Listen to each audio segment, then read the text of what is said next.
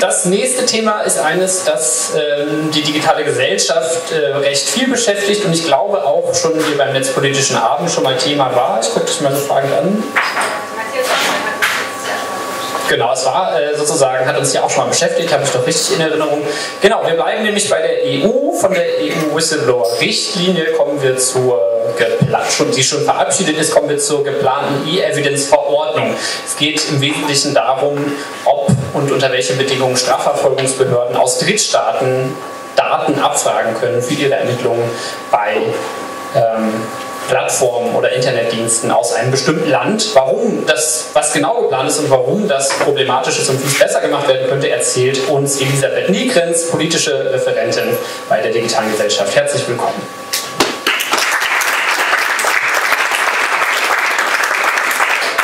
Vielen Dank für die Einführung, Ingo. Ähm, ja, sollen spanische, ungarische, portugiesische, italienische Behörden, zum Beispiel Anbieter, die in Deutschland ansässig sind, wie GMX, Posteo, zur Herausgabe von Meta- und Inhaltsdaten zwingen dürfen, ohne dass die deutsche Justiz dabei ein Wörtchen mitzureden hat und ohne dass die Tat, wegen der ermittelt wird, in Deutschland überhaupt eine Straftat ist? Das ist die Kernidee der nun geplanten E-Evidenzverordnung. Ähm, welches Problem soll denn damit eigentlich gelöst werden? Die Sache ist die, dass Staatsanwaltschaften und Polizeien Strafverfolgungsmaßnahmen grundsätzlich nur innerhalb ihres Staatsgebietes durchführen können. Das ist also ja, sozusagen gehört zum völkerrechtlichen Territorialitätsprinzip hinzu. Und das äh, könnte man meinen, steht in einem gewissen Konflikt zu der aktuellen Entwicklung, dass Daten über alle möglichen Zusammenhänge viel häufiger auf der ganzen Welt verstreut gespeichert werden, sodass Ermittlungsbehörden oftmals rügen, ähm, sie kommen eben nicht damit zurecht, Bezüge ähm, zum Internet oder Taten mit Bezügen zum Internet gut zu ermitteln oder auch Beweismittel zuzugreifen. Ich denke, das ist eine Behaupt oder eine Aussage, die man auch ein bisschen grundsätzlicher anzweifeln kann, weil man früher ja auch nur sehr schlecht äh, die Post ähm, abfangen oder äh, Gespräche belauschen konnten. Äh, und schließlich durch die Digitalisierung Ermittlungsbehörden schon heute viel mehr Daten zur Verfügung stehen als zuvor. Wie sieht es denn bisher eigentlich grenzüberschreitend aus in Sachen Strafverfolgung? Ähm, so der klassische Weg, äh, das sind gegenseitige Rechtshilfeabkommen, die sogenannten Mutual Legal Assistance Treaties. Äh, da werden also Abkommen zwischen, meist bilateral zwischen jeweils zwei Staaten geschlossen, äh, die Ermittlungsbehörden eines Staates ermöglichen, den Behörden des anderen Staates eine Anfrage zu schicken, darüber eine Ermittlungsmaßnahme durchzuführen. Gibt es also auch schon lange im analogen Bereich. Und dieses ja, Mittel gilt als sehr langwierig. Ähm, je nach Abkommen, je nach Staaten ist es da sehr unklar, ob und wann man eine Antwort bekommt. Sodass im Hinblick auf elektronische Beweismittel die Situation in der Praxis aktuell so ist, dass sehr, sehr viel äh, von der freiwilligen Zusammenarbeit abhängt. Also es heißen, gerade so große Konzerne ähm, mit Sitz in den USA kooperieren zum Teil ganz gut mit Ermittlungsbehörden, haben natürlich äh, auch ein gewisses Interesse daran, zumindest bei Verdacht schwerer Straftaten mitzuwirken, zum Teil aber auch nicht so gut. Es gibt ein Papier der EU-Kommission, die sagt 2016 oder das sagt 2016 wurden 58 Prozent aller Behördenanfragen aus der EU auf dieser freiwilligen Basis beantwortet. Die USA haben 2018 nach einem langen Rechtsstreit mit Microsoft den Cloud Act erlassen, der nun US-Unternehmen verpflichtet, Daten, die sie auf Servern weltweit irgendwo gespeichert haben, an US-Behörden herauszugeben. Ähm, das ist auch nicht ganz unproblematisch, auch für die Unternehmen, denn wenn die in der EU zum Beispiel gespeichert sind, dann verstoßen sie damit mit der Herausgabe gleichzeitig gegen die DSGVO. Können sich also sozusagen aussuchen, ob sie US-amerikanisches Recht oder europäisches brechen. In der EU man schon mal diese Situation verbessern, zumindest unter den Mitgliedstaaten. Äh, und deshalb ist die Europäische Ermittlungsanordnung 2014 ähm, Richtlinie darüber erlassen worden. Die erlaubt es den Strafverfolgungsbehörden der Mitgliedstaaten, den Behörden des anderen Mitgliedstaates äh, direkt auf Auftrag eine bestimmte Ermittlungsmaßnahme ausführen zu lassen. Und die wurde, diese Maßnahme wurde insgesamt auch schon relativ stark kritisiert aus grundrechtlicher Sicht. Ähm, es gab allerdings noch so ein paar, ja, so ein paar äh, grundsätzliche Möglichkeiten, Grundrechte zu wahren. Zum Beispiel hat der Vollstreckungsstaat die Möglichkeit, so eine Anordnung abzulehnen, wenn die Tat, die ermittelt wird, in seinem Staat, nach seinem Recht keine Straftat darstellt. Ausgenommen ist dann sozusagen so eine Liste von Delikten, auf die man sich geeinigt hat. Da gibt es auch äh, klare Fristen Also es sind 30 Tage für die Antwort sozusagen zur Verfügung und spätestens binnen 90 Tagen soll eine Maßnahme dann durchgeführt werden. Die Umsetzungsfrist der Europäischen Ermittlungsanordnung ist erst 2017 abgelaufen. Äh, eine Evaluierung ist bisher noch nicht durchgeführt worden. Das bedeutet, es hat eigentlich noch nie jemand systematisch durchsucht, wie wirkungsvoll dieses Instrument eigentlich ist, welche Probleme es möglicherweise gibt und ob das nicht vielleicht ganz gut funktioniert und ausreicht.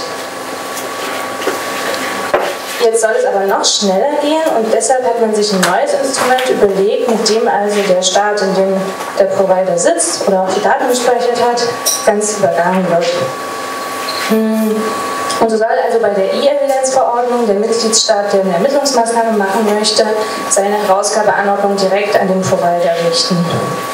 Der Vollstreckungsstaat kommt eigentlich nur dann ins Spiel, wenn der Provider sagt, nur machen wir nicht. Dann soll er nämlich eine Sanktion vollstrecken. Da gibt es jetzt grundlegend zwei Maßnahmen. Einmal die Herausgabeanordnung, also Daten sollen direkt herausgegeben werden, und die Sicherungsanordnung, bei der Daten zunächst mal gespeichert werden müssen, um dann später für eine Herausgabe zur Verfügung zu stehen. Was sind so die Voraussetzungen einer solchen Anordnung?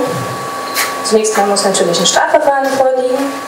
Ähm, Maßnahme muss auch verhältnismäßig sein und notwendig und sie wäre im Anordnungsstaat, der das also ganz, das Ganze anleiert, äh, in einem vergleichbaren innerstaatlichen Verfahren erlaubt. Das bedeutet also, wenn jetzt zum Beispiel Frankreich eine Anordnung betreffend Daten, die in Deutschland gespeichert sind oder bei einem deutschen Provider äh, in Deutschland auf dem Server liegen, erlässt, dann müsste eine Ermittlungsmaßnahme dieser Art in Frankreich gestattet sein, in Deutschland aber nicht unbedingt. Und das führt zu dem absurden Ergebnis, dass eine ausländische Behörde im Inland mehr darf, als die inländische Behörde in einem entsprechenden Verfahren dürfte, soweit eben die Befugnisse in den Staaten unterschiedlich geregelt sind. Für sogenannte Transaktions- und Inhaltsdaten ähm, muss es um eine Straftat gehen, die mit einer Höchststrafe von mindestens drei Jahren bedroht ist. Drei Jahre klingt erstmal viel und es ist in Deutschland zum Beispiel so, dass beispielsweise ein Diebstahl bestraft wird mit ähm, einer Geldstrafe oder einer Freiheitsstrafe von oder bis zu fünf Jahren. Das soll heißen, es gibt häufig sehr weit gespannte Strafmaße und man kommt schon mit einem sehr leichten Ladendiebstahl im Prinzip in diesen Bereich rein. Es handelt sich also nicht wirklich um eine hohe Schranke. Eine richterliche Anordnung ist auch nur bei bestimmten Datenkategorien erforderlich und nicht bei allen. Die Rechtsfolge einer solchen Anordnung ist dann, dass der Provider binnen zehn Tagen die Daten herausgeben muss und in Notfällen sogar schon binnen sechs Stunden. Das ist natürlich auch, also zunächst mal zeigt das, dass der Provider auf jeden Fall nicht irgendwie prüfen soll, ob das eigentlich grundsätzlich in Ordnung ist, ob das rechtmäßig ist. Ähm, und auf der anderen Seite zeigt das, dass ich mir als kleineres und mittleres Unternehmen auch ein bisschen Sorgen machen muss, wie ich diese sechs Stunden schaffen kann. Muss ich möglicherweise einen 24-Stunden-Service ähm, einrichten. Denn die Nichtbefolgung ist auch ganz erheblich sanktionsbedroht mit bis zu 2% des weltweiten Jahresumsatzes. Das ganz große Problem ist aber, ähm, dass das Erfordernis beidseitiger Strafbarkeit nicht gegeben ist. Beidseitige Strafbarkeit ist vielleicht am letzten zu verstehen an dem Fall Putsch de Mont, den, an den sich sicherlich alle erkennen, erinnern. Da ging es ja um den europäischen Haftbefehl. Und ähm, Spanien wollte ihn gerne ausgeliefert bekommen wegen des Straftatbestandes der Rebellion. Und ähm, das OLG Schleswig hat da gesagt, Rebellion den Tatbestand haben wir so nicht. Deswegen liefern wir nicht aus. Und das kann man also bei, einer, ähm, bei Maßnahmen nach der E-Evidenzverordnung nicht machen. Ich habe ein paar Beispiele rausgesucht. Äh, in Malta sind fast alle Möglichkeiten des Schwangerschaftsabbruchs zum Beispiel illegal. Ähm, wenn da eine Ärztin mit ihren Patientinnen etwa über Posteo kommunizieren würde, äh, dann müssten, müsste Posteo auch diese Daten an, ein, an die spanischen Ermittlungsbehörden herausgeben. herausgeben. Äh, wenn jetzt in Polen Personen Aufklärungsarbeit leisten würden über die Beteiligung von Personen am Holocaust und zum Beispiel über Facebook publizieren, Daten sind eventuell in Irland gespeichert, dann ähm, müsste auch Facebook diese Daten an polnische Ermittlungsbehörden herausgeben.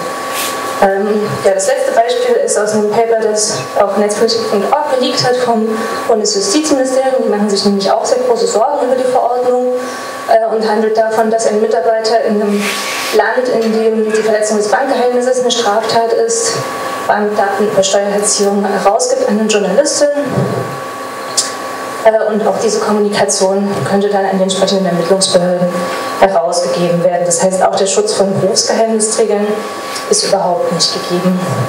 Das Absurde ist so ein bisschen, dass wenn Anbieter sich weigern müssten, dann Deutschland oder ein anderer Zielstaat sozusagen sehen, dass die ähm, Maßnahme rechtsmissbräuchlich oder unverhältnismäßig ist oder auch einfach eine Straftat betrifft, die hier nicht strafbar wäre, ähm, eine Sanktion verhängen müsste.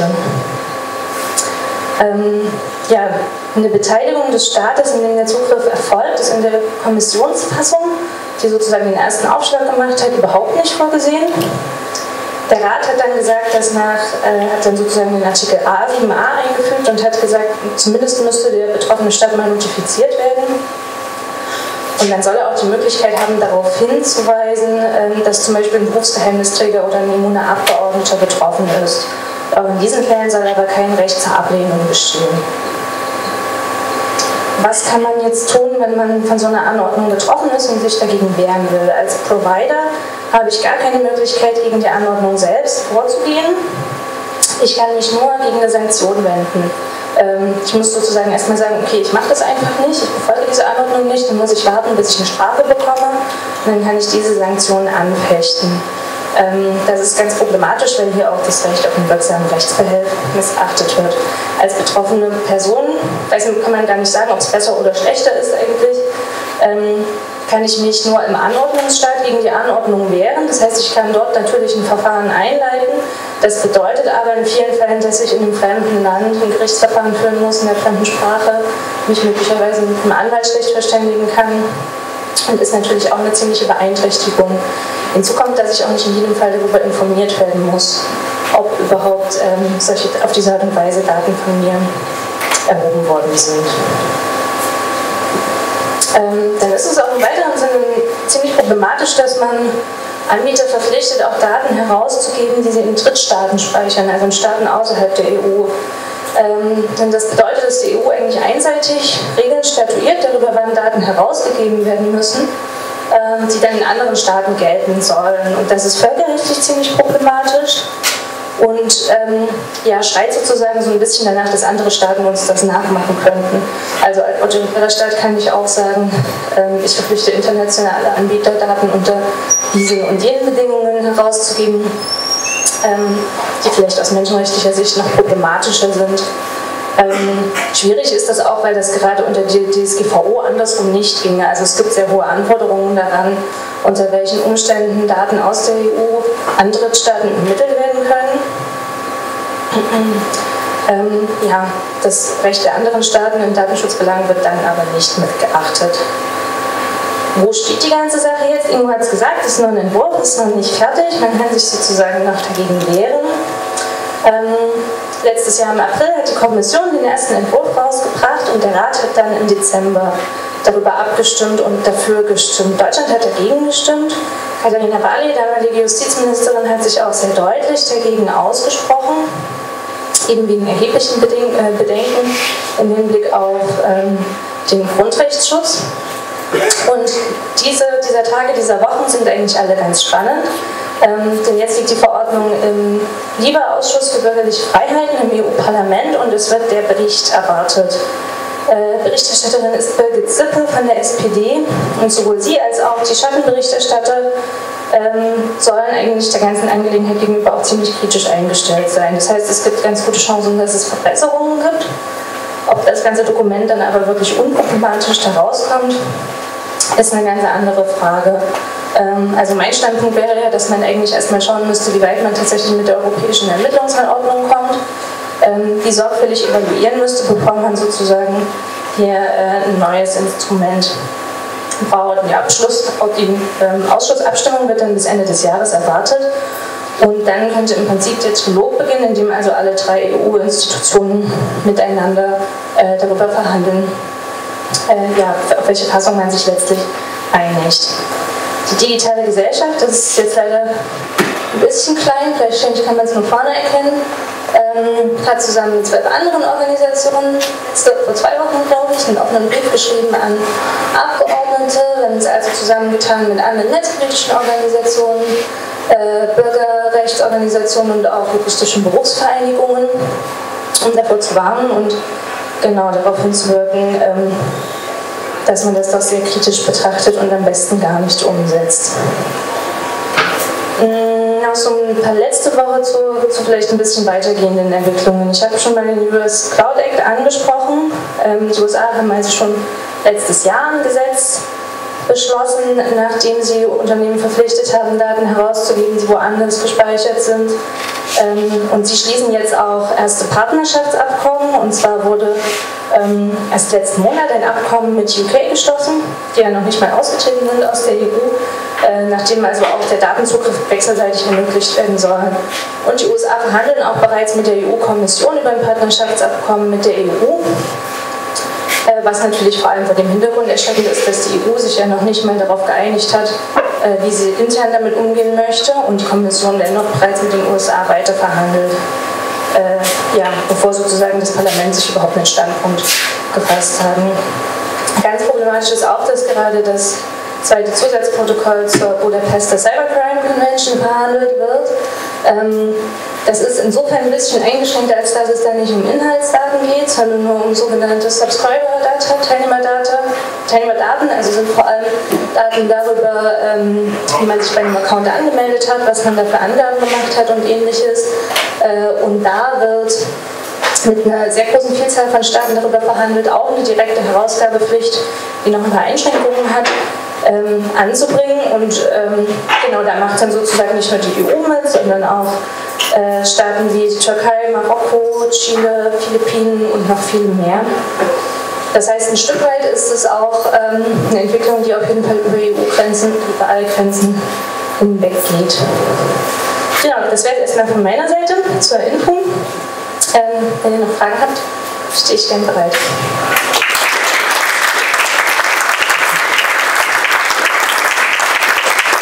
Vielen Dank, Elisabeth. Gibt es Fragen? Ja. Elisabeth, erstmal herzlichen Dank für die super Arbeit, die ihr da macht. Ich finde es total wichtig und mir macht das fast ein bisschen Angst. Ne? Ähm, was ich mich allerdings frage, ist so, ähm, du hast ja plädiert im Grunde dafür, dass man das ganze Vorhaben auf Eis legt. Wie realistisch findest du das? Und wenn das nicht äh, gelingt, was kann dann sozusagen der Mittelweg sein, der ähm, sozusagen uns von den ähm, sozusagen dieser Einflussnahme von oder der Unterwerfung unter ein fremdes Rechtssystem bewahrt. Ähm, wie realistisch ist das? Also ähm, wir haben auf jeden Fall immer eine relativ weite Perspektive oder eine sehr positive Perspektive aus unserer Sicht darauf, was wir uns für Ziele setzen. Ähm, in Deutschland ist es so, dass das ganze Vorhaben sehr kritisch beäugt wird, eigentlich von allen, aber auch dagegen gestimmt. Also was heißt hier? Ähm, das Justizministerium hat dagegen gestimmt im Rat. Das heißt, es kommt sehr stark darauf an, wie sich andere Staaten positionieren. Ähm, mit den relativ kritischen Berichterstatterinnen und Berichterstattern ähm, kann man sich eher vorstellen, dass man zu einer Lösung kommt, bei der der Vollstreckungsstaat auch mit eingebunden wird oder zumindest ein Vetorecht hat, äh, zumindest also eingreifen kann. Und ähm, man ja, auf das Erfordernis beidseitiger Strafbarkeit zurückkommt. Das wäre sozusagen die zweitbeste Variante, da, von der ich auch immer mal höre. Da frage ich mich allerdings so ein Stück weit, was ist dann eigentlich noch der Vorteil ähm, zur äh, europäischen Ermittlungsanordnung? Gut, der bestünde dann trotzdem noch in der direkten Anfrage. Insofern könnte man unter Umständen schneller sein. Das Marginal ist auch die Frage, ob das dann so gut gelingt. Also widersprechen dann eigentlich die Behörden im Vollstreckungsstaat auch eifrig? Schauen die sich das an? Wie viel Zeit haben sie dafür? Wie, wie ist da die Motivationslage? Das wäre möglicherweise so eine Zwischenlösung. Das wäre jetzt tatsächlich auch nochmal meine Frage gewesen, weil das jetzt die Ermittlungsbehörden im äh, Staat, wo das Unternehmen dann sitzt, diejenigen sind, die jetzt irgendwie auf die Rechtsstaatlichkeit achten und dann in der Rolle sind zu prüfen, ähm, ist das jetzt äh, mit unseren Gesetzen konform? Das ist ja eigentlich nicht die Rolle, die sie einnehmen meistens. Äh, also wie realistisch ist es, dass die überhaupt auch diese ähm, nach dem aktuellen Modell dann quasi die wenigstens den Hinweis machen. Verhindern können sie es ja nicht, sondern sie können nur einen Hinweis geben, aber wie realistisch ist es, dass die überhaupt dann die plötzlich anfangen darauf zu achten? Also wenn es dafür nicht mehr Ressourcen gibt und man einfach die, diese Nachricht bekommt und dann die Möglichkeit hat, das zu machen und sonst aber keine Verpflichtung besteht, darauf hinzuschauen, dann halte ich es für sehr unwahrscheinlich, eigentlich, dass was passiert im Hinblick darauf, dass Ermittlungsbehörden, also vor allem Staatsanwaltschaften, ziemlich stark ähm, überlastet sind. Das könnte ich mir jetzt von der Arbeitsrealität her nicht so richtig vorstellen, wie das passieren würde. Also eigentlich würde es schon sehr viel Sinn machen, aus grundrechtlicher Perspektive zu sagen, man braucht sozusagen ein Okay von denen, man braucht eine positive Entscheidung und muss nicht auf ein Veto warten. Okay. Weitere Meldungen, Fragen oder auch Kommentare, Hinweise? Gut. Ja, doch.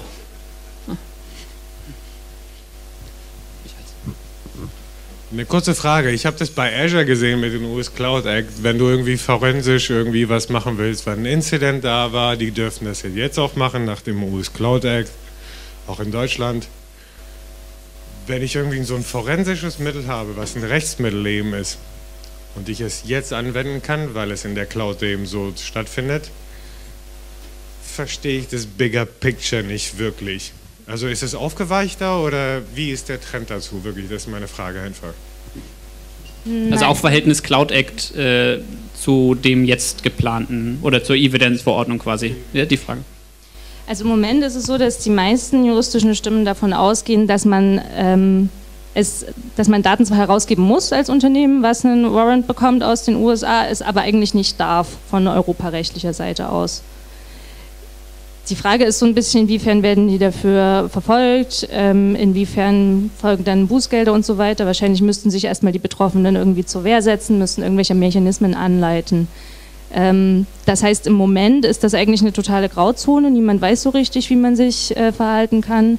Was diskutiert wird auf jeden Fall in der Fachwelt, auch unter den Unternehmen, soweit ich weiß, sind sowas wie äh, Datentreuhandmodelle.